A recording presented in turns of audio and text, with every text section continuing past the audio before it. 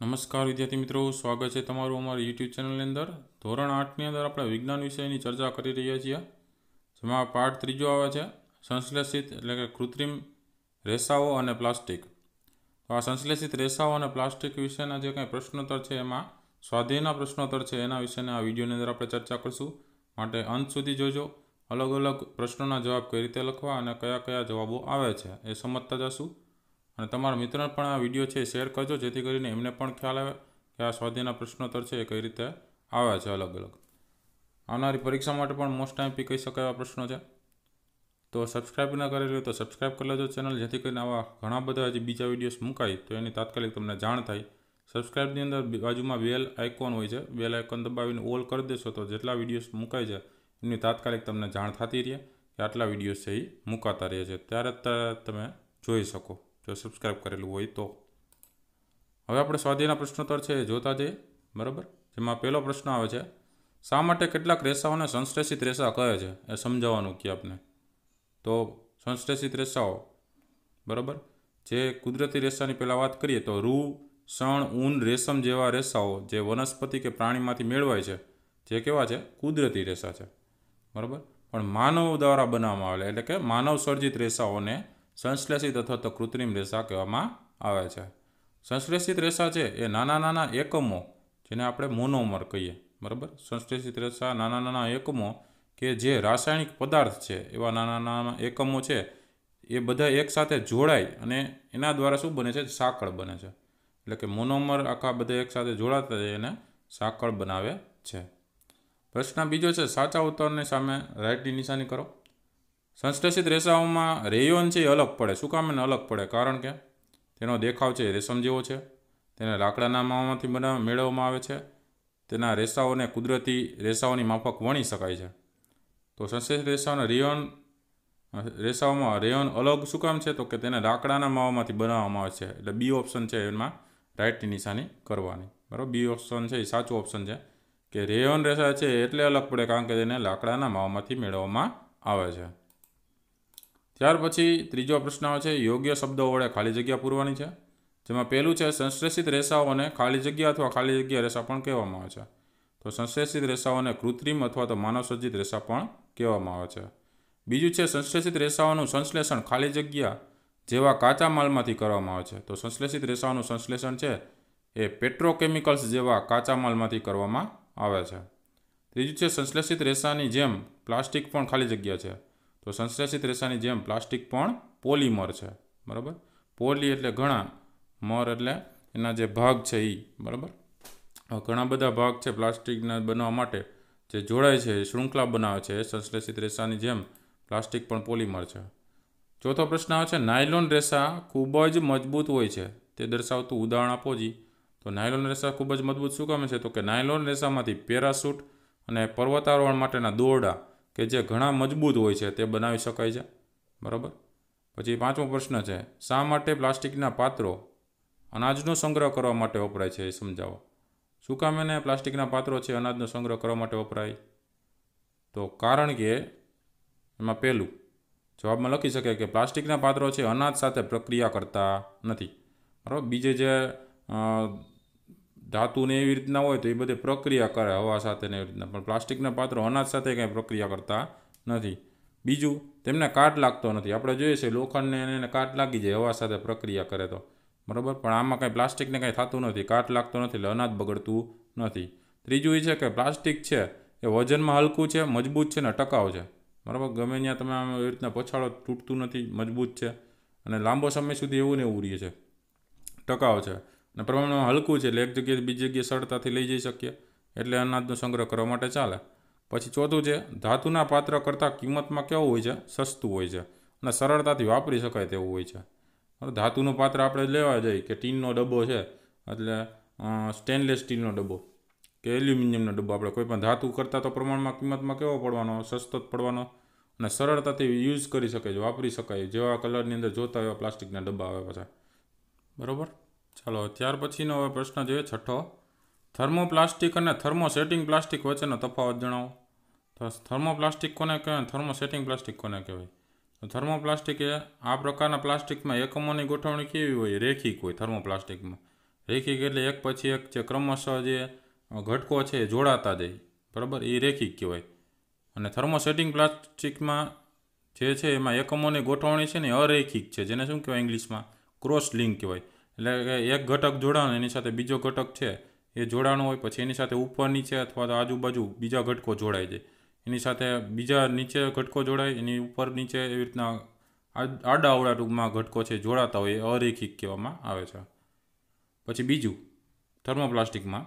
તેને ગરમ કરતાં તે નરમ બની જાય છે. ત્યારે થર્મોસેટિંગ પ્લાસ્ટિક છે. તેને એકવાર આકારમાં ઢાળ્યા પછી ગરમ કરતાં પણ નરમ બનતું નથી. પછી ત્રીજું, તેના આકારમાં ફેરફાર કરી શકાય તેવું છે. અને થર્મોસેટિંગ પ્લાસ્ટિક છે, તેના આકારમાં ફેરફાર કરી શકાતો નથી. પછી ચોથું છે થર્મોપ્લાસ્ટિક છે, એના ઉદાહરણ યાદ રાખજો, પોલિથીન ને પીવીસી. બરાબર? પોલિથીન ને પીવીસી. પીવીસી એટલે પોલીવિનાઇલ ક્લોરાઇડ, પૂરું નામ યાદ રાખજો. પોલીવિનાઇલ ક્લોરાઇડ, જે આપણે પીવીસીના પાઇપ આવે છે. બરાબર? એ. તો પોલિથીન ને પીવીસી થર્મો પ્લાસ્ટિકના ઉદાહરણ છે. જ્યારે બેકેલાઇટ મેલેમાઇન છે, એ થર્મોસેટિંગ પ્લાસ્ટિકના ઉદાહરણ છે. તો આ રીતના તમે તફાવતના મુદ્દા લખી શકો છો. ત્યાર પછી સાતમો પ્રશ્ન છે, નીચેની વસ્તુઓ થર્મોસેટિંગ પ્લાસ્ટિકમાંથી શા માટે બનાવવામાં આવે છે? એ સમજાવો. બરાબર? બે વસ્તુ આપી છે, હાથાવાળી તવી ને ઇલેક્ટ્રિક પ્લગ અથવા સ્વિચ પ્લગ બ્લોડ હવે હાથાવાળી તવીની આપણે વાત કરીએ તો હાથાવાળી તવીનો હાથો છે થર્મોસેટિંગ પ્લાસ્ટિક બેકેલાઇટમાંથી બનાવવામાં આવે છે. બેકેલાઇટ કેવું છે? તે અગ્નિનો અવરોધક છે. અગ્નિનો અવરોધ કરે છે. અને ખોરાક રાંધતી વખતે તેનો હાથો ગરમ થતો નથી. જેથી હાથો પકડતા આપણે દાંતતા નથી. બરાબર? અગ્નિ અવરોધક હોવાથી આપણે જે હાથાવાળી તવી છે, એ ગરમ ન થાય એટલે આપણે દાજીએ નહીં. એના માટે એનું બેકેલાઇટનું પડ ત્યાં પ્લાસ્ટિકનું ચડેલું હોય, જેથી હાથો તાત્કાલિક ગરમ નથી થતો. બરાબર ને? આપણે દાજતા નથી. બીજી વસ્તુ બ આપ્યું છે, ઇલેક્ટ્રિક પ્લગ સ્વિચો અથવા પ્લગ બોર્ડ તો આ બધી વસ્તુઓ જે છે, એ થર્મોસેટિંગ પ્લાસ્ટિક બેકેલાઇટમાંથી બનાવવામાં આવે છે. કારણ કે બેકેલાઇટ કેવું છે, ઉષ્મા અને વિદ્યુતનું અવાહક છે. કેવું છે? ઉષ્મા અને વિદ્યુતનું અવાહક છે. અને પાછું તે અગ્નિ પણ અવરોધ કરે છે, એટલે અગ્નિ જ છે. તેમાંથી બનેલી વસ્તુઓ છે, લાંબા સમય સુધી પોતાનો મૂળ આકાર શું કરે છે? જાળવી રાખે છે. તાત્કાલિક ગરમ થાય તો આકાર બદલીને જ જતો. બરાબર? જેમ પોલિથીનની આપણે થેલીઓ છે, એ આકાર તાત્કાલિક બદલી જાય, ઓગળી જાય. એવી રીતના ઓગળી ન જાય તાત્કાલિક.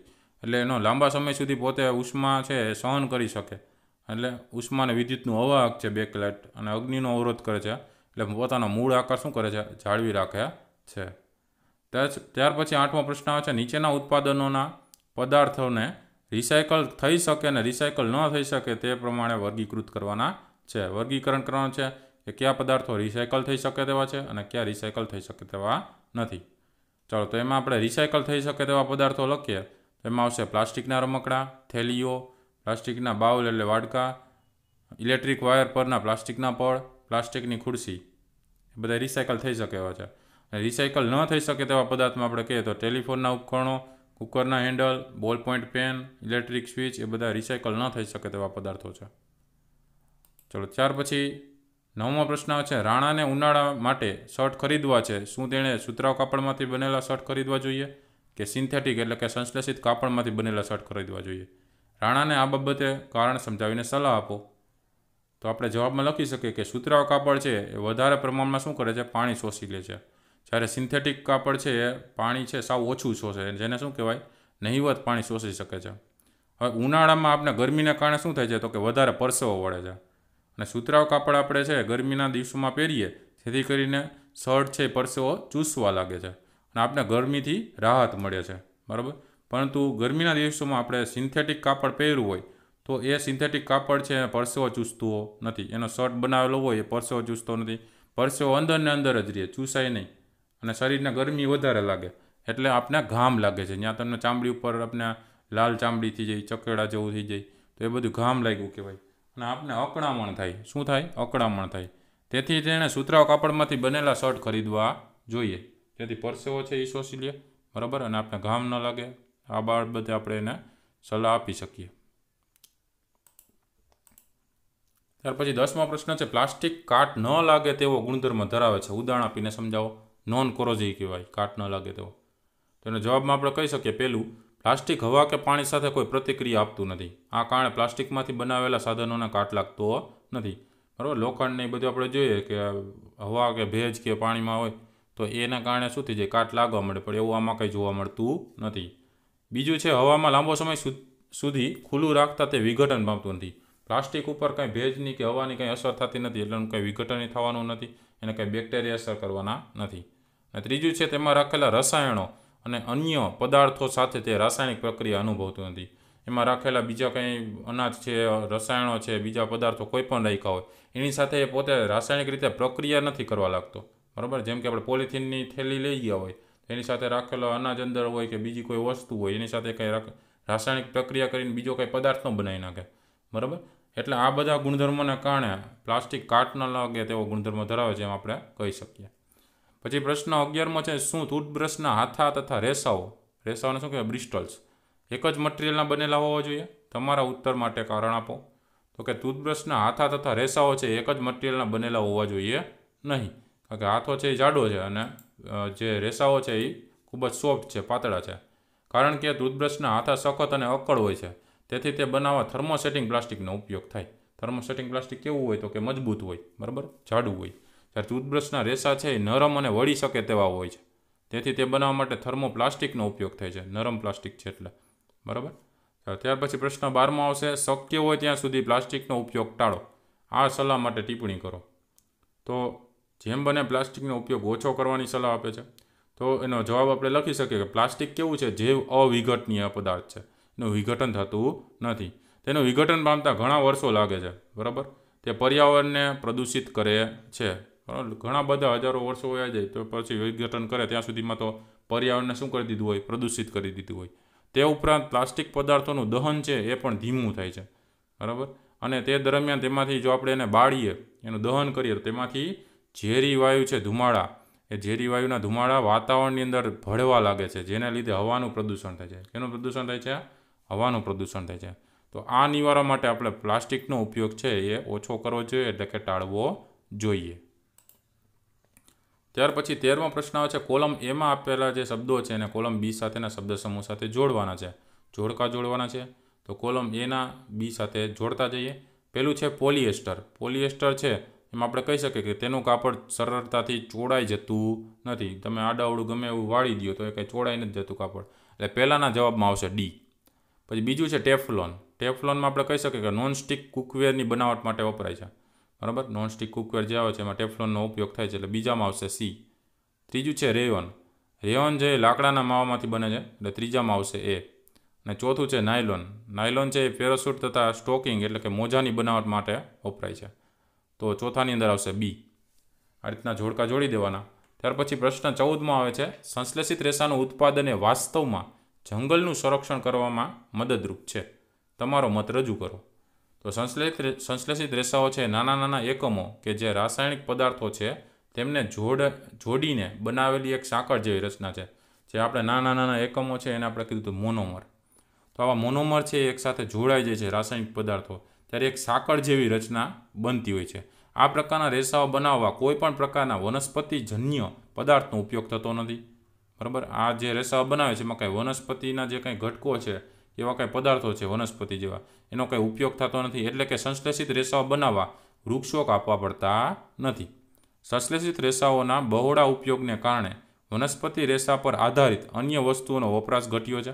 પાછા સંશ્લેષિત રેસાઓનો વધારે આપણે ઉપયોગ કરવા માંડ્યા ને, એટલે વનસ્પતિ રેસાના જે કંઈ વસ્તુઓ હતી, બીજી વસ્તુઓ વનસ્પતિ રેસામાંથી બનતી હતી, એનો ઉપયોગ ઘટી ગયો. બરાબર? આમ જંગલનું આપણે સંરક્ષણ કરવામાં સંશ્લેષિત રેસાઓ છે, ઘણા જ મદદરૂપ થયા. કે જંગલો કપાતા અટકી ગયા. શું કામને તો કે આ રેસાઓ છે એમાં કંઈ વનસ્પતિનો ઉપયોગ નથી થતો. અને એના જેવા બીજા ઘટકો જે વનસ્પતિજન્ય ઘટકો હતો, એનો ઉપયોગ ઘટી ગયો. શું કામને તો કે સંશ્લેષિત રેસાઓવાળા જે ઉત્પાદન કરવા માંડ્યા એ સરળતાથી વાપરી શકાય એવા હતા. એટલે એનો ઉત્પાદનની અંદર આ વનસ્પતિજન્ય પદાર્થો દ્વારા આ બધા ઘટી જાય છે ઉપયોગમાં. ત્યાર પછી પંદરમો પ્રશ્ન છે, થર્મોપ્લાસ્ટિક એ વિદ્યુતનું અવાહક છે. તે બાબત પ્રવૃત્તિ દ્વારા વર્ણવવાની છે. તો થર્મોપ્લાસ્ટ, થર્મોપ્લાસ્ટિક છે, વિદ્યુતનો અવાહક છે, તે બાબત દર્શાવવા માટે પ્રવૃત્તિ કરવાની છે. જેમની અંદર તમે જોઈ શકો છો સેલ છે, સેલમાં પ્લસ માઇનસ સાથેના ઘટકો જોડી દીધા છે, એમાં વાયર જોડ્યો છે. વાહકતાર છે એ અહીંયા પ્લસવાળો ઘટક જોડવાનો માઇનસવાળો છે, લેમ્પની નીચેના ભાગમાંથી નીકળીને અહીંયા રાખવાનો છે, અને બીજો માઇનસવાળો અહીંયા રાખવાનો છે. એમની વચ્ચે વસ્તુ મૂકતી જવાની. બે વસ્તુ મૂકવાની છે, એક તાંબાની પટ્ટી અને બીજી પ્લાસ્ટિકની પટ્ટી મૂકવાની છે. તાંબાની પટ્ટી મૂકશું, ત્યારે આખો વિદ્યુત પરિપથ છે પૂર્ણ થઈ જશે એટલે બલ્બ પ્રકાશિત થશે. કારણ કે વિદ્યુતનું સુવાહક છે, તાંબુ છે, એમાંથી વિદ્યુતનું વહન થઈ શકે છે સરળતાથી. જ્યારે પ્લાસ્ટિકની અંદર વિદ્યુત છે, એ સરળતાથી પસાર નહીં થાય, એટલે એ અવાહક છે, એટલે બલ્બ ત્યારે નહીં પ્રકાશિત થાય. બરાબર? તો વિદ્યુત પરિપથમાં સેલ, બલ્બ અને વાહકતાર દર્શાવે છે. વાહકતારના છેડા એ અને બી વચ્ચે. બરાબર? અહીંયા પ્રથમ તાંબાની પટ્ટી ગોઠવવાની. એ વખતે પ્રકાશ બલ્બ આપશે. શું કામ એને? તો કે તાંબાની અંદર ઇલેક્ટ્રોન્સ રહેલા છે. અને આ ઇલેક્ટ્રોન્સના કારણે એમની અંદર વિદ્યુતનું વહન સરળતાથી થઈ શકે છે, એટલે બલ્બ પ્રકાશ આપશે. હવે તાંબાની પટ્ટીની જગ્યાએ તમે પ્લાસ્ટિકની પટ્ટી ગોઠવી દો. આ વખતે બલ્બ પ્રકાશ આપતો નથી. બલ્બ છે પ્રકાશ આપતો નથી. શું કામ એને તો કે વિદ્યુત પરિપથ છે એ પૂર્ણ થતો નથી. શું કામ પૂર્ણ નથી થતો? તો કે પ્લાસ્ટિકની પટ્ટીમાંથી ઇલેક્ટ્રોન્સ છે એ હોતા નથી. એટલે એમાંથી વિદ્યુત વહન કરવા માટે ઇલેક્ટ્રોન્સને રસ્તો મળતો નથી. એટલે વિદ્યુત પરિપથ પૂર્ણ થતો નથી. જે શું દર્શાવે છે તો કે થર્મોપ્લા થર્મોપ્લાસ્ટિક છે, વિદ્યુતનું કેવું છે તો કે અવાહક છે એ દર્શાવે છે. તો ખ્યાલ આવ્યો આખી પ્રવૃત્તિનો? બરાબર? તો વિદ્યાર્થી મિત્રો, આ હતા પાઠ ત્રીજાને લગતા સ્વાધ્યાયના પ્રશ્નો જવાબ. હવે અલગ અલગ હજી બીજા ઘણા બધા વિડીયોસ આવવાના છે, તો એના માટે ચેનલને સબસ્ક્રાઇબ ન કરે તો સબસ્ક્રાઇબ કરી બાજુમાં બે લાઇકન ઉપર ઓલ દબાવી દો જેથી કરીને બધી જ નોટિફિકેશન તમને તાત્કાલિક જોવા મળે. જ્યારે વીડિયો અપલોડ થયેલો હોય ત્યારે તમને ખબર પડી જાય કે આ વીડિયો મુકાયેલ છે, તો તમે તાત્કાલિક ત્યારે જોઈ શકો છો. આવા અલગ અલગ વિડીયોઝ છે, જોતા રહેજો. અને પ્લેલિસ્ટ છે ઉપર, એમાં પણ ઘણા બધા બીજા વિડીયોઝ તમે સરળતાથી મેળવી શકશો. સ્ટાન્ડર્ડ આર્ટનું સાયન્સનું પ્લેલિસ્ટ કે એવા બીજા ઘણા બધા બીજા પ્લેલિસ્ટ છે. એમાંથી પણ તમે વિડીયોઝ છે એ સરળતાથી મેળવી શકો છો. તો જોતા રહેજો આ વીડિયો જ્ઞાનમાં વધારો કરતા રહેજો. થેન્ક યુ વેરી મચ કાળજી રાખજો અને તમારા મિત્રોને પણ આ વીડિયો શેર કરજો. Take care